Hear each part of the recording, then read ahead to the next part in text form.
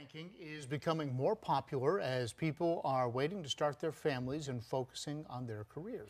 10 News anchor Jenna Zibton explains the best ages and cost as we continue our look at the silent struggle of infertility.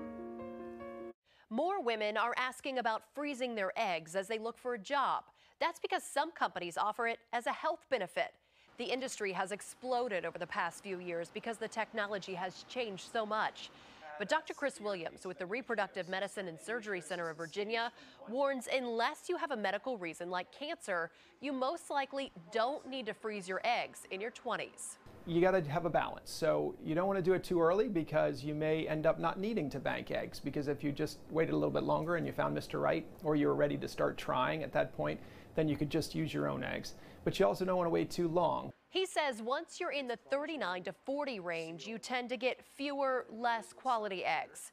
Dr. Williams says the sweet spot to freeze your eggs is 36 or 37 years old. Egg banking there costs between eight and nine thousand dollars per cycle. That total includes what you pay for medication, which typically runs between three and four thousand dollars per cycle. If you do multiple cycles, there's a discount.